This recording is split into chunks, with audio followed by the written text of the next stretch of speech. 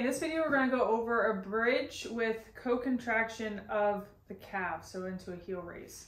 So we're going into a bridge, we're going to fire up the hamstrings, and then we're going to do a calf raise at the same time to get the calves firing up together.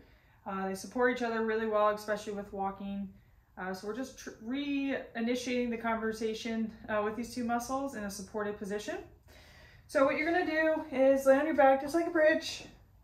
As far as foot position, you want to kind of sample out what a bridge feels like. So if your heels are close to your butt and you feel it really strongly in the quads, I want you to walk your feet out a little bit further away until you feel it more in the calves, I mean, sorry, the glutes and the hamstrings.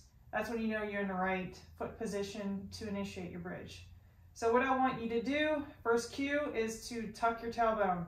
So the core is tight and you're gonna clear the butt for about an inch or two before you come up into a calf raise. So it's not gonna be very far.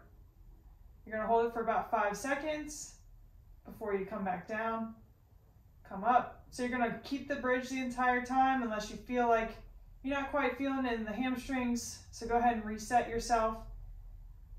And ideally, you wanna be able to hold this bridge with the calf raise for up to 15 to 30 seconds at a time without cramping happening or just for us to slowly lose the height of the heel raise or the glute raise here.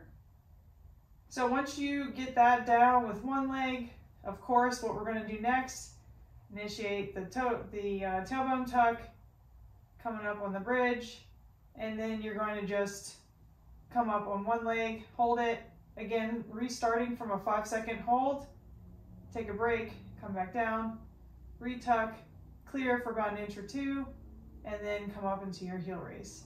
So you can see the progression there. So you start with two legs, you work up to, I know 15 to 30 seconds is a huge difference, but ideally 30 second hold, right? Before you go to single leg version of it.